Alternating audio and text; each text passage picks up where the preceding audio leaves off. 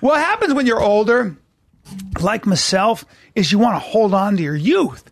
And I don't know. I don't know. I, I might have tweeted, te- texted I mean, you you about in this skinny 'cause I, jeans I embarrassed myself. golden embarrassed myself.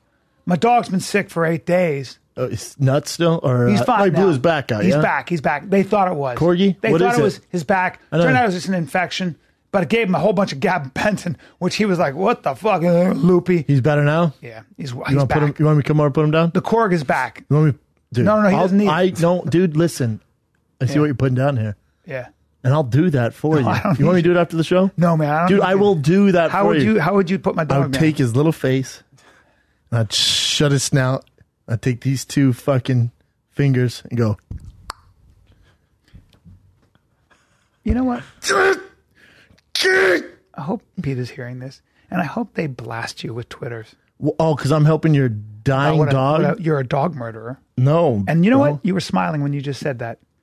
So you're kind of a Well, you were winking at me. you get off on killing animals. You're wink, winking at me. I was trying to pick up what you're putting down. My- I'll my- put your corgi down for free. my vet, I brought him to the f- fourth vet.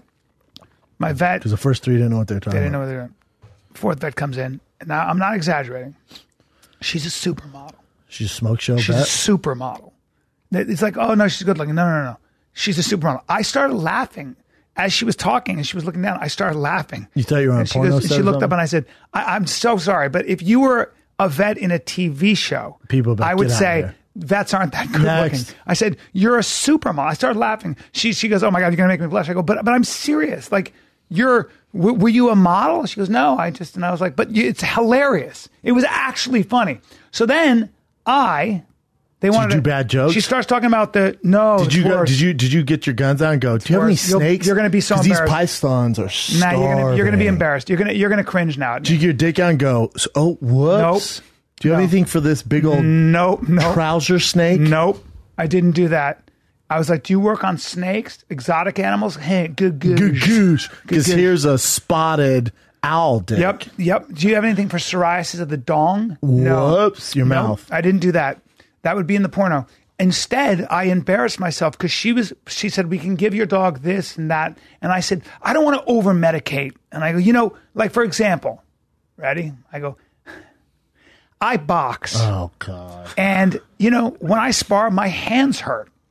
So I go to the doctor. I didn't go to the doctor. I made the story up. I go, I go to the doctor, to and the doctor with boxing Dude, wait, it gets worse. I go, I go to the doctor, and the doctor wants to give me six different medications, and like, and I'm walking out with Matt, and I go, and I go, why don't I just take a week off from sparring?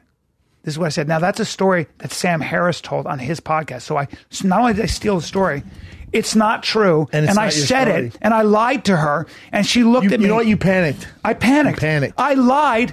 I told a story about going to the doctor about my hands and how I spar. It's so ridiculous. You had nothing else to offer. I stole a story from Sam Harris. You had nothing else to offer. That's right. And she looked at me and she smiled and she went, "So we'll run." She goes, "So um, you know, we'll just we'll we'll see, make sure he's hydrated, and I'll be right back." I was like, when she left, "I'm a loser, I'm a loser. Do you have anything for for a for a 51 year old fucking loser?" is she old?